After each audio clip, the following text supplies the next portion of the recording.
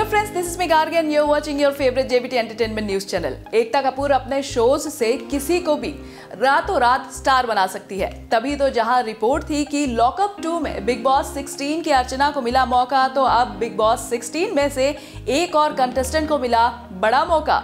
वो भी एकता के साथ काम करने का। टीवी क्वीन एकता कपूर नए चेहरों की तलाश हमेशा करती रहती हैं। इसी बीच उनको एक नया और फ्रेश चेहरा दिखा, वो भी नागिन सेवन के लिए। रिपोर्ट्स की माने तो पहले ये खबर थी कि शंबुल करेंगे ये शो, पर अब इस एक्ट्रेस पर लगी मुहर। जिसकी स्माइल है कातिलाना प्रियंका चाहर चौधरी। वैसे अभी तक उन्होंने प्रोजेक्ट साइन नहीं किया है, पर रिपोर्ट की माने तो एकता ने प्रियंका को कास्ट कर लिया है। पहले ये खबर थी कि शंबुल होगी शो का हिस्सा, पर उनके पापा ने ऐसे किसी भी खबर के लिए ना बोला है।